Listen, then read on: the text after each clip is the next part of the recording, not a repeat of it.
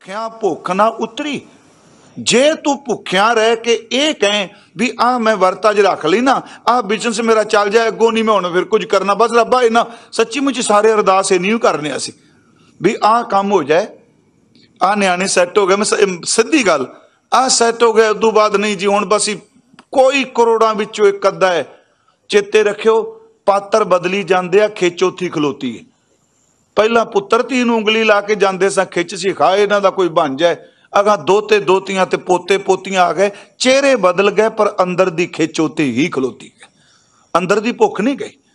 ਗੁਰੂ ਸਾਹਿਬ ਇੱਥੇ ਸ਼ਬਦ ਵਰਤ ਰਿਹਾ ਭੁੱਖਿਆ ਭੁੱਖ ਨਾ ਉਤਰੀ ਜੇ ਬੰਨਾ ਪੁਰੀਆਂ ਭਾਰ। ਹੁਣ ਚੌਥਾ ਬਚਨ, ਸਾਹਸ। ਚਲੋ ਪਾਠ ਭਾਵੇਂ ਸਾਰੇ ਸੱਜਣ ਸਾਡੇ ਸਹਿਸ ਹੀ ਕਰਦੇ ਆ, ਪਰ ਸਿਹਾਰੀ ਕੋਈ ਨਹੀਂ ਲੱਗੀ। ਸਿੱਧਾ ਖੜਵਾ ਸੱਸਾ ਹਾਹਾ ਸੱਸਾ ਸਾਹਸ, ਸਹਿਸ, ਫ਼ਰਕ ਹੈ ਨਾ ਜੀ? ਸਾਹਸ, ਸਿਆਣਪਾਂ, ਲੱਖ, ਹਾਂ, ਲੱਖ ਹੋ ਹੈ, ਹੋਏ ਨਹੀਂ। ਅਕਸਰ ਕਈ ਗੁਰਮੁਖ ਪਿਆਰੇ, ਚਲੋ ਮੈਂ ਸ਼ਬਦ ਵਰਤਾਂ ਹਾਕੇ ਨੂੰ ਬੋਲਦੇ ਨਹੀਂ। ਉਹ ਈੜੀ ਬੋਲੀ ਜਾਂਦੇ ਆ। ਸਹਿ ਸਿਆਣਪਾ, ਲੱਖ ਹੋਏ, ਪਰ ਇੱਥੇ ਪਾਠ ਹੈ, ਸਹਿਸ, ਸਿਆਣਪਾ, ਸਾਹਸ, ਸਿਆਣਪਾ, ਲੱਖ ਹੋ ਹੈ। ਇਹਦਾ ਅਰਥ ਹੋ ਗਿਆ ਸਾਹਸ ਦਾ ਅਰਥ ਹਜ਼ਾਰ। ਉਂਝ ਯਾਦ ਰੱਖਿਓ, ਇੱਕ ਸਹਿਸ ਦਾ ਅਰਥ ਸਹਿਸਾ ਚਿੰਤਾ, ਕਰਮੀ ਸਹਿਜ ਨਾ ਉਪਜੈ ਵਿਨ ਸਹਿਜੇ। ਹਾਂ, ਉਥੇ ਹਜ਼ਾਰ ਨਹੀਂ। ਹਾਂ ਸਹਿਸ ਤਵ ਨਾ- ਨੈਣ, ਨਨ ਨੈਣ ਹੈ। ਉਥੇ ਸਾਹਸ ਦਾ ਅਰਥ ਹਜ਼ਾਰ। ਇੱਥੇ ਗੁਰੂ ਜੀ ਕਹਿੰਦੇ ਆ ਸਾਹਸ ਸਿਆਣਪਾਂ, ਹਜ਼ਾਰਾਂ ਸਿਆਣਪਾਂ ਬੰਦੇ ਕੋਲ ਹੁਣ ਚਲਾਕ ਹੋਵੇ ਆਦਾ ਲੱਖ ਹੋ ਹੈ, ਫਿਰ ਹਜ਼ਾਰਾਂ ਤੋਂ ਅੱਗੇ ਲੱਖ, ਇਹ ਇਹ ਸ਼ਬਦ ਸਿਆਣਪ ਨਾਲ। ਇਹਦੇ ਸਿੱਧੇ ਅਰਥ ਹੋ ਗਿਆ, ਕਿਸੇ ਬੰਦੇ ਕੋਲ ਹਜ਼ਾਰਾਂ ਤੇ ਲੱਖਾਂ ਸਿਆਣਪਾਂ ਹੋਣ ਇਹਨਾਂ ਚਲਾਕ ਹੋਵੇ ਜੀ, ਪੁੱਛੋ ਕੁਝ ਨਾ। ਤੇ ਬਾਬਾ ਜੀ ਕਹਿੰਦੇ ਨੇ, ਸਿਆਣਪ ਨਾਲ ਦੁਨੀਆ ਠੱਗੀ ਜਾ ਸਕਦੀ ਹੈ। ਸਾਹਸ ਸਿਆਣਪਾਂ ਲੱਖ ਹੋ ਹੈ ਤਾਂ ਫਿਰ ਦਿੱਤਾ ਤਾਂ ਨਹੀਂ, ਕੰਨਾ ਨਹੀਂ ਲੱਗਾ। ਫਿਰ ਬੇਨਤੀ ਹੈ ਜੀ ਸਹਿਸ ਸਾਹਸ ਸਿਆਣਪਾ ਲੱਖ ਹੋਏ ਤਾਂ ਇੱਕ ਨਾ ਚੱਲੈ। ਨੰਨੇ ਨੂੰ ਵੀ ਕਰਨਾ ਨਹੀਂ। ਚੱਲੇ ਪਾਠ ਨਹੀਂ ਕਰਨਾ, ਲੱਲੇ ਤੇ ਦੁਲਾਮਾ ਬੋਲਨੀਆਂ ਚੱਲੈ। ਸਾਹਸ ਸਿਆਣਪਾ ਲੱਖ ਹੋਏ ਤਾਂ ਇੱਕ ਨਾ ਚੱਲੈ ਨਾਲ। ਜੇ ਬੰਦਿਆ ਤੇਰੇ ਕੋਲ ਹਜ਼ਾਰਾਂ ਤੇ ਲੱਖਾਂ ਸਿਆਣਪਾਂ ਨੇ, ਤੂੰ ਸਾਰੀ ਦੁਨੀਆ ਨੂੰ ਬੇਵਕੂਫ ਬਣਾ ਸਕਣਾ ਹੈ ਪਰ ਰੱਬ ਦੇ ਘਰ ਵਿੱਚ ਨਾ ਤੇਰੀ ਚਲਾਕੀ ਜਾਣੀ ਹੈ, ਨਾ ਤੇਰੀ ਸਿਆਣਪ ਜਾਣੀ ਹੈ, ਸਭ ਕੁਝ ਧਰਿਆ ਧਰਾਇਆ ਰਹਿ ਜਾਣਾ। ਸਹਿਸ ਸਿਆਣਪਾ ਲੱਖ ਹੋਏ ਤਾਂ ਇੱਕ ਨਾ ਚੱਲੇ, ਨਾਲ ਇਹ ਹੋ ਗਈਆਂ ਚਾਰ ਤੁਕਾਂ। ਇਹ ਮਹਾਰਾਜ ਨੇ ਕਿਹਾ ਵੀ ਸਾਡੇ ਤੋਂ ਪਹਿਲਾਂ ਇਹ ਯਤਨ ਲੋਕ ਕਰ ਰਹੇ ਆ। ਮਨ ਚ ਹੈ ਮੈਂ ਸਚਿਆਰ ਪਦ ਤੇ ਪਹੁੰਚਾਂ, ਪਰ ਜਿਹੜਾ ਤਰੀਕਾ ਬਣਾ ਰਿਹਾ, ਦੁੱਖ ਇਸ ਚੀਜ਼ ਦਾ, ਇਹਦੇ ਨਾਲ ਮੰਜ਼ਿਲ ਕੋਈ ਨਹੀਂ ਮਿਲ ਰਹੀ। ਬਾਬਾ ਜੀ ਦੇ ਫਿਰ ਸ਼ਬਦ। ਸੋਚੈ, ਸੋਚ ਨਾ ਹੋਵਈ। ਜੇ ਸੋਚੀ ਲੱਖ ਵਾਰ, ਚੁੱਪੈ, ਚੁੱਪ ਨਾ ਹੋਵਈ। ਜੇ ਲਾਏ ਰਹਾ ਲਿਵਤਾਰ ਭੁੱਖਿਆ, ਭੁੱਖ ਨਾ ਉਤਰੀ। ਜੇ ਬੰਨਾ, ਪੁਰੀਆਂ, ਭਾਰ।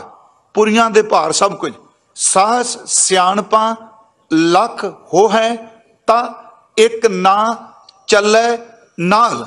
ਹੁਣ ਜਿਹੜਾ ਸਵਾਲ ਮੇਰੇ ਤੇਰੇ ਵਰਗਾ ਕੋਈ ਕਰ ਲੈਂਦਾ ਬਾਬਾ ਜੀ ਨੂੰ ਵੀ ਤੁਸੀਂ ਆ ਵੀ ਖੰਡਨ ਕਰਤਾ, ਇਸ਼ਨਾਨ ਵੀ ਖੰਡਨ ਕਰਤਾ ਮੋਨ ਵੀ ਖੰਡਨ ਕਰਤਾ, ਵਰਤ ਵੀ ਖੰਡਨ ਕਰ ਦਿੱਤੇ, ਸਿਆਣਪ ਵੀ ਖੰਡਨ ਕਰਤੀ।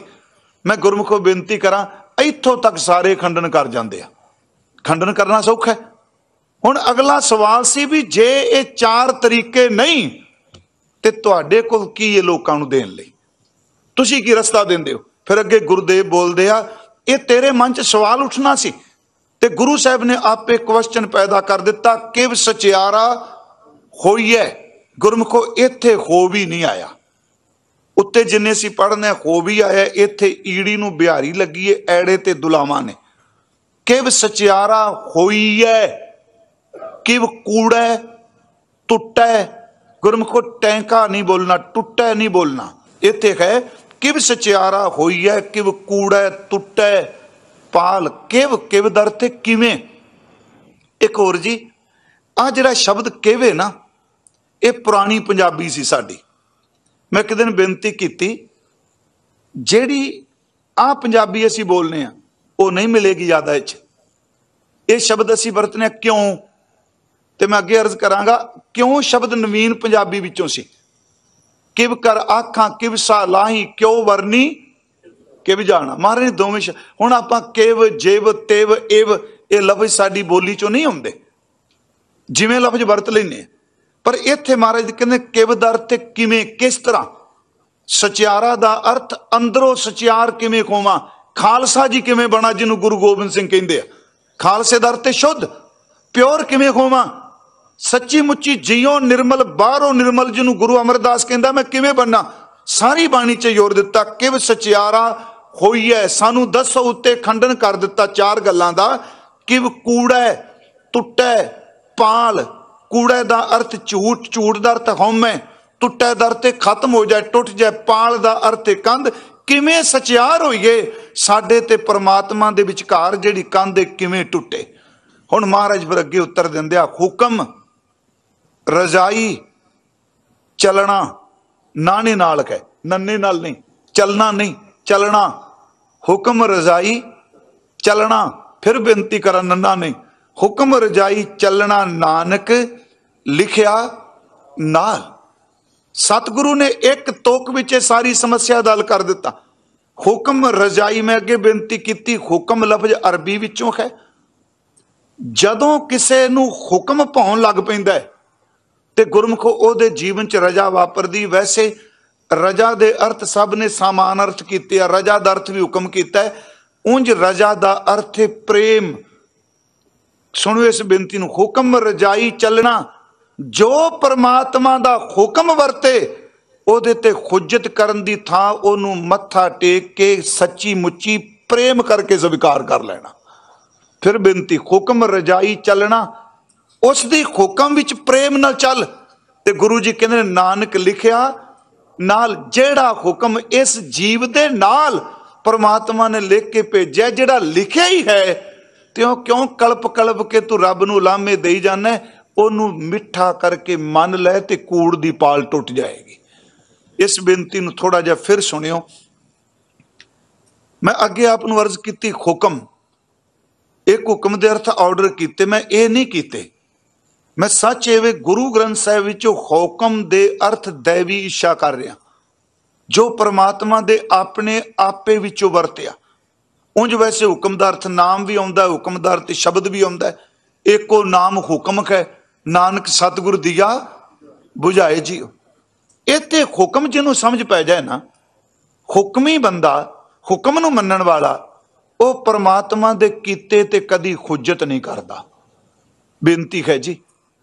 ਅੱਜ ਸਮੱਸਿਆ ਇਹ ਵੇ ਕਿ ਹੁਕਮ ਦੇ ਕਨਸੈਪਟ ਨੂੰ ਅੱਜ ਦਾ ਜਿਹੜਾ ਅਧਿਉਨਿਕ ਯੁੱਗ ਹੈ, ਇਹ ਮੰਨਣ ਨੂੰ ਤਿਆਰ ਨਹੀਂ। ਮੈਂ ਸੱਚ ਕਹਿ ਰਿਹਾ, ਦੋ ਤਰੀਕੇ ਨੇ। ਇੱਕ ਹੈ ਸੰਘਰਸ਼ ਦਾ, ਇੱਕ ਹੈ ਸਮਰਪਣ ਦਾ। ਜ਼ਿੰਦਗੀ ਵਿੱਚ ਅੱਗੇ ਵਧਣਾ ਹੈ ਤੇ ਸੰਘਰਸ਼ ਅਤ ਲਾਜ਼ਮੀ ਗਏ ਜੇ ਰੱਬ ਵਾਲੇ ਪਾਸੇ ਚੱਲਣਾ ਹੈ ਤੇ ਉਹਦੇ ਨਾਲ ਸੰਘਰਸ਼ ਮਤ ਕਰ, ਉਹਦੇ ਅੱਗੇ ਸਮਰਪਣ ਕਰ ਦੇ। ਸੰਘਰਸ਼ ਤੇ ਸਮਰਪਣ ਦੋ ਚੀਜ਼ਾਂ ਨੇ। ਜੇ ਸਮਰਪਣ ਕਰੇਗਾ, ਸਮਰਪਣ ਵਿੱਚ ਖੌਮੇ ਨਹੀਂ ਰਹਿੰਦੀ। ਖੌਮੇ ਦਰਅਸਲ ਉੱਠਦੀ ਉਦੋਂ ਵਿੱਚ ਜਦੋਂ ਇਹ ਕਹਿਣ ਲੱਗਦਾ, ਮੈਂ ਵੀ ਕੁਝ ਹਾਂ। ਜਦੋਂ ਮੈਂ ਮਾਰੀ ਜਾਏ ਤੇ ਪਿਆਰਿਓ, ਫਿਰ ਫਿਰ ਕਾਹਦਾ ਉੱਥੇ ਜੀ ਕੋਈ ਸਮੱਸਿਆ ਹੀ ਨਹੀਂ? ਮੈਂ ਫਿਰ ਬੇਨਤੀ ਕਰਾਂਗਾ ਹੁਕਮ ਨੂੰ ਥੋੜਾ ਜਿਹਾ ਸਮਝਣ ਲਈ ਕਿ ਹੁਕਮ ਰਜਾਈ ਚੱਲਣਾ, ਨਾਨਕ ਲਿਖਿਆ ਨਾਲ, ਜਿਹੜੇ ਅਸੀਂ ਕਹਿੰਦੇ ਆ ਮੈਂ ਹੁਕਮ ਨਹੀਂ ਮੰਨਦਾ। ਕੋਈ ਜੀਵ ਐਸਾ ਨਹੀਂ ਜੋ ਉਂਝ ਵੈਸੇ, ਜਿਹੜਾ ਹੁਕਮ ਤੋਂ ਬਾਹਰ ਜਾਏ। ਗੁਰਮੁਖੋ ਥੋੜਾ ਜਿਹਾ ਤਵੱਜੋ ਦਿਓ।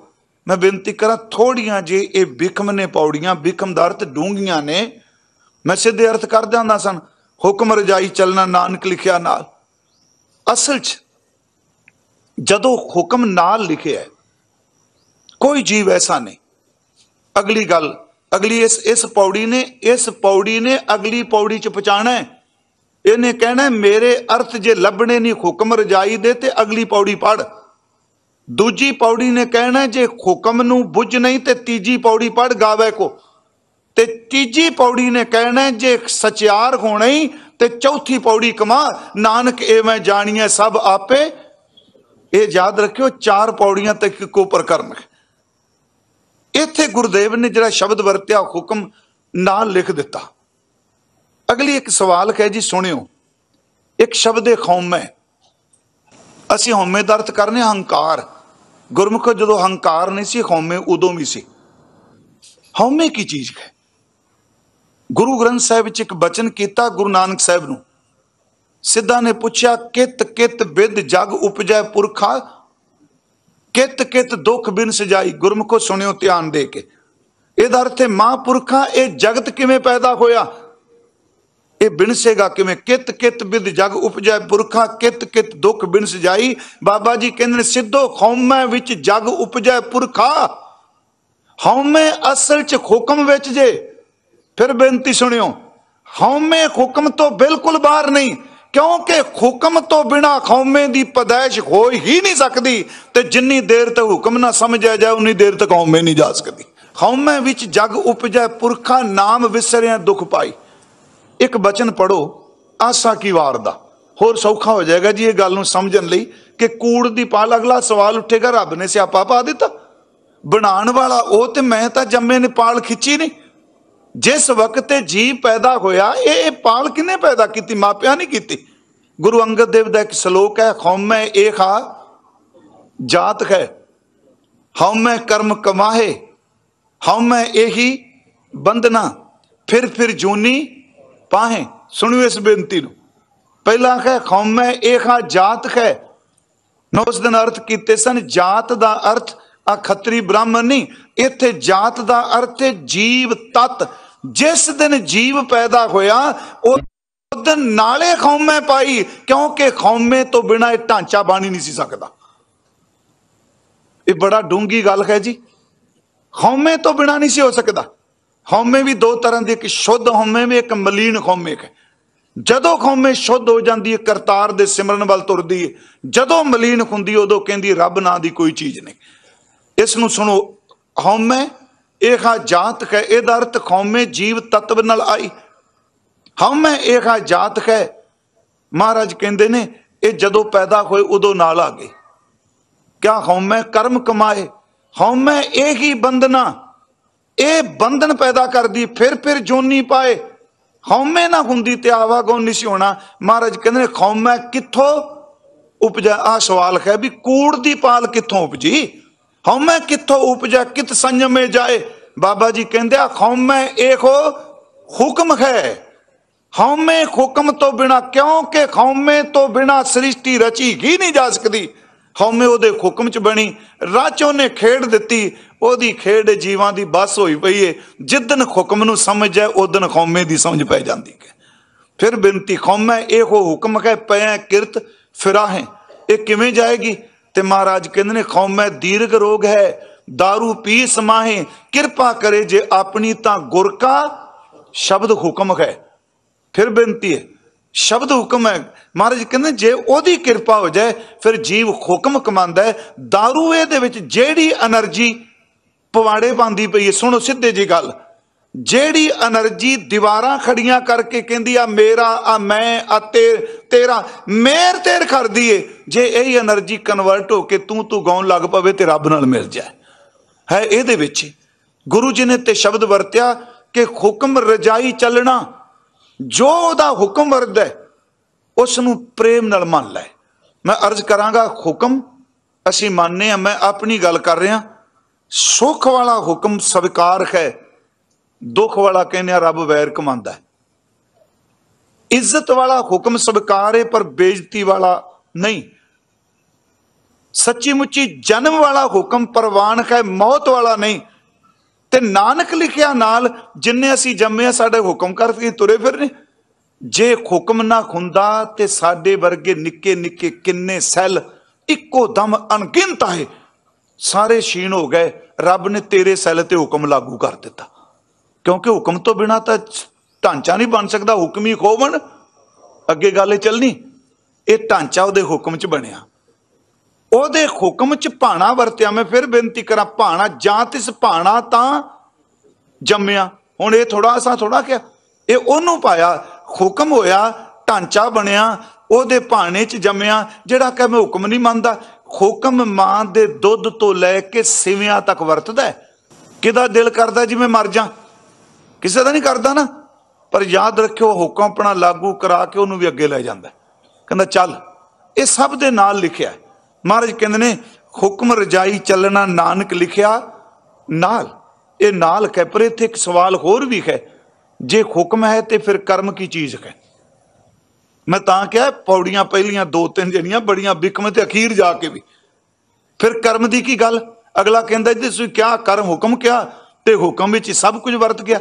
ਮੈਂ ਫਿਰ ਬੇਨਤੀ ਕਰਾਂ, ਜਿਹੜੀ ਖੌਮੇ ਹੈ, ਇਹ ਕਰਮ ਕਰਾਂਦੀ ਹੈ। ਪਰ ਖੌਮੇ ਗਿਣਤੀ ਵਿੱਚ ਹੈ, ਹੁਕਮ ਗਿਣਤੀ ਵਿੱਚ ਨਹੀਂ। ਜਦੋਂ ਖੌਮੇ ਅਧੀਨ ਬੰਦਾ ਮਾੜੇ ਤੋਂ ਮਾੜਾ ਵੀ ਕਰਮ ਕਰ ਲੈ, ਜੇ ਉਹਦੀ ਕਿਰਪਾ ਵਰਤ ਜਾਏ, ਤਾਂ ਮਾੜੇ ਤੋਂ ਮਾੜੇ ਕਰਮ ਨੂੰ ਵੀ ਸਾੜ ਦਿੰਦੀ ਹੈ। ਗੁਰੂ ਜੀ ਇੱਥੇ ਫਿਰ ਅੱਗੇ ਕਹਿੰਦੇ ਆ, ਹੁਕਮ ਕੀ ਹੈ? ਹੁਣ ਮੈਂ ਬੇਨਤੀ ਕਰਾਂ, ਮੈਨੂੰ ਹੁਕਮ ਦੇ ਅਰਥ ਆਰਡਰ ਨਹੀਂ ਕਰਾਂਗੇ। ਹੁਕਮ ਰਜਾਈ ਚੱਲਣਾ ਨਾਨਕ ਲਿਖਿਆ ਨਾਲ ਅੱਗੇ ਗੁਰੂ ਜੀ ਕਹਿੰਦੇ ਆ, ਹੁਕਮੀ ਹੋਵਨ ਆਕਾਰ। ਆਕਾਰ ਨਹੀਂ, ਐੜੇ ਨੂੰ ਕੰਨਾ ਲੱਗਾ, ਆਕਾਰ। ਪਾਠ ਅਵਸਰ ਆਕਾਰ ਹੀ ਕੀਤਾ ਜਾਂਦਾ ਹੁਕਮੀ, ਇੱਥੇ ਹੁਕਮੀ ਦਾ ਅਰਥ ਗੁਰਮੁਖਾਂ ਨੇ ਹੁਕਮ ਹੀ ਕੀਤਾ ਹੈ। ਪਰ ਮੈਂ ਇੱਥੇ ਬੇਨਤੀ ਕਰਾਂ, ਇੱਥੇ ਹੁਕਮੀ ਦਾ ਅਰਥ ਇਉਂ ਕਰੀਏ, ਜਿਹਦਾ ਹੁਕਮ ਵਰਤ ਰਿਹਾ ਹੈ। ਇੱਕ ਹੁੰਦਾ ਨਾਮ, ਇੱਕ ਹੈ ਨਾਮੀ। ਇੱਕ ਹੈ ਹੁਕਮ, ਇੱਕ ਹੈ ਹੁਕਮੀ। ਹੁਕਮੀ ਦਾ ਅਰਥ ਹੋ ਗਿਆ ਉਸ ਪਰਮਾਤਮਾ ਦੇ ਹੁਕਮ ਨਾਲ, ਉਸ ਹੁਕਮੀ ਦੇ ਹੁਕਮ ਨਾਲ। ਹੁਕਮੀ ਖੋਵਣ ਆਕਾਰ। ਆ ਜਿੰਨੇ ਵੀ ਆਕਾਰ ਨੇ, ਮੇਰੀ ਬੋਡੀ ਤੁਹਾਡਾ ਸਰੀਰ ਆਕਾਰ ਹੈ। ਆ ਪਹਾੜੀਆਂ ਆਕਾਰ ਨੇ, ਰੁੱਖ ਆਕਾਰ ਹੈ। ਪਾਣੀ ਸਮੁੰਦਰ ਦਾ ਆਕਾਰ ਹੈ, ਸੂਰਜ ਆਕਾਰ ਹੈ, ਮੰਗਲ ਗ੍ਰਹਿ ਜਿੰਨੀਆਂ ਵੀ ਇਹ ਸਪੇਸ ਵਿੱਚ ਜੋ ਕੁਝ ਪਿਆ ਹੈ, ਜੋ ਕੁਝ ਵੀ ਦ੍ਰਿਸ਼ਟਮਾਨ ਢਾਂਚਾ ਸਾਰੇ ਢਾਂਚੇ ਉਹਦੇ ਹੁਕਮ 'ਚ ਬਣੇ ਆ। ਹੁਕਮੀ ਖੋਵਣ ਆਕਾਰ ਪਰ ਨਾਲ ਇੱਕ ਬਖਸ਼ਿਸ਼ ਕੀਤੀ, ਹੁਕਮ ਨਾ ਕਹਿਆ ਜਾਈ। ਮੈਂ ਤਾਂ ਕਿਹਾ ਸੀ ਵੀ ਹੁਕਮ ਨੂੰ ਕੋਈ ਕਹਿ ਨਹੀਂ ਸਕਦਾ। ਹੁਕਮ ਨੂੰ ਮੰਨ ਸਕਣਾ ਹੈ, ਹੁਕਮ ਅੱਗੇ ਝੁਕ ਸਕਣਾ ਹੈ, ਪਰ ਜੇ ਤੂੰ ਕਹਿਣਾ, ਮੈਂ ਮੈਂ ਰੱਬ ਦੇ ਹੁਕਮ ਬਾਰੇ ਸਭ ਕੁਝ ਸਮਝ ਗਿਆ, ਤੇਰਾ ਝੂਠ ਹੈ, ਤੂੰ ਹੁਕਮ ਸਮਝ ਨਹੀਂ ਸਕਦਾ। ਹੁਕਮੀ ਖੋਵਣ, ਆਕਾਰ, ਹੁਕਮ ਨਾ ਕਹਿਆ ਜਾਈ। ਹੁਣ ਸਵਾਲ ਸੀ, ਇਕੱਲੇ ਢਾਂਚੇ ਬਣਾ ਦਿੱਤੇ। ਮਹਾਰਾਜ ਕਹਿੰਦੇ, ਨਹੀਂ, ਇਹਨਾਂ ਢਾਂਚਿਆਂ 'ਚ ਹਰਕਤ ਪੈਦਾ ਕਰਨੀ ਸੀ ਨਾ। ਇਹ ਢਾਂਚਾ ਮੰਨ ਲਓ ਬਣਾ ਦਿੱਤਾ। ਅਗਲੀ ਗੱਲ ਇਹ ਸੀ, ਕਿਉਂਕਿ ਜੀ ਤੋਂ ਬਿਨਾ ਢਾਂਚਾ ਕੰਮ ਨਹੀਂ ਕਰ ਸਕਦਾ। ਹੁਕਮੀ ਖੋਵਨ ਜੀ, ਹੁਕਮ ਵਿੱਚ ਉਹਨੇ ਜਿੰਦ ਪੈਦਾ ਕੀਤੀ। ਜਿਹਨੂੰ ਅਸੀਂ ਕਹਿੰਦੇ ਆ ਜਿਉ ਪਾਏ ਪਿੰਡ ਜਿਨ, ਸਾਜਿਆ। ਪਿੰਡ ਆਕਾਰ ਹੈ ਜਿਉ ਜੀ ਹੈ। ਇਹ ਸਰੀਰਾ ਮੇਰਿਆ ਕਰ ਤੁਮ ਮੈਂ ਜੋਤ ਰੱਖੀ, ਤਾ ਤੂੰ ਜਗ ਮੈਂ ਆਇਆ। ਹੁਕਮੀ ਖੋਵਣ ਆਕਾਰ ਹੁਕਮ ਨਾ, ਕਹਿਆ ਜਾਈ ਹੁਕਮੀ ਖੋਵਨ ਜੀ। ਉਹਦੇ ਹੁਕਮ ਵਿੱਚ ਚੇਤਨਾ ਪੈਦਾ ਹੋਈ ਹੈ ਆ ਰੁੱਖ ਆਕਾਰ ਹੈ, ਕਿ ਉਹਦੇ ਵਿੱਚ ਚੇਤਨਾ ਨਹੀਂ? ਜੇ ਚੇਤਨਾ ਹੋਵੇ, ਨਾ ਹੋਵੇ ਤੇ ਫੁੱਲ ਫਲ ਕਿਉਂ ਦੇਈ ਜਾਂਦਾ ਜੀ? ਆ ਆ ਸੂਰਜ ਹੈ। ਕਿ ਇਹਦੇ ਚ ਜੀ ਜੀ ਨਹੀਂ, ਚੇਤਨਾ ਨਹੀਂ? ਜੇ ਉਹਦੇ ਚੇਤਨਾ ਨਾ ਹੁੰਦੀ ਤੇ ਰੋਸ਼ਨੀ ਸਾਨੂੰ એનર્ਜੀ ਕਿਉਂ ਦਿੰਦੀ? ਮੈਂ ਬੇਨਤੀ ਕਰਾਂ, ਜੋ ਆਕਾਰ ਬਣਾਏ, ਉਸ ਆਕਾਰ ਦੇ ਵਿੱਚ ਉਹਨੇ ਚੇਤਨਾ ਵੀ ਪੈਦਾ ਕਰ ਦਿੱਤੀ। ਈਵਨ ਕਿ ਪਾਣੀ ਵੀ ਬਣਾਇਆ, ਉਹਦੇ ਵਿੱਚ ਵੀ ਤਾਂ ਰੱਬ ਨੇ ਚੇਤਨਾ ਪੈਦਾ ਕੀਤੀ ਹੈ। ਪਹਿਲਾ ਪਾਣੀ, ਇਹ ਉਹਦੇ ਹੁਕਮ 'ਚ ਹੈ। ਮੈਂ ਤਾਂ ਬੇਨਤੀ ਕੀਤੀ ਜੀ ਆ ਜਿਹੜੀ ਪੌੜੀ ਹੈ, ਪਹਿਲੀਆਂ ਦੋ ਖਾਸ ਕਰਕੇ, ਇਸ ਸ੍ਰਿਸ਼ਟੀ ਦੀ ਰਚਨਾ ਬਾਰੇ, ਇਹ ਸਾਰਾ ਜਪਜੀ ਸਾਹਿਬ ਦੇ ਦੁਆਲੇ ਘੁੰਮਣਾ ਹੈ ਜੀ।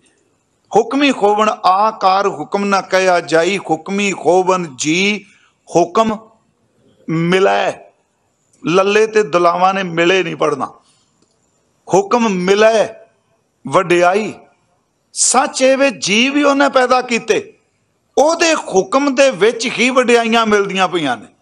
ਉਂਝ ਸੱਚ ਐਵੇਂ ਉਹਦੀ ਸਭ ਤੋਂ ਵੱਡੀ ਵਡਿਆਈ ਇਹ ਵੇ ਜਿਹਨੂੰ ਸੱਚਾ ਨਾਮ ਚੇਤੇ ਆਉਣ ਲੱਗ ਪਏ ਵੱਡੀ ਵਡਿਆਈ ਜਾਂ ਵੱਡਾ ਨਾਮ ਚਾਹ ਵੱਡੀ ਵਡਿਆਈ ਹੈ ਉਹਦੇ ਹੁਕਮ 'ਚ ਹੀ ਵਡਿਆਈ ਮਿਲਦੀ ਪਈ।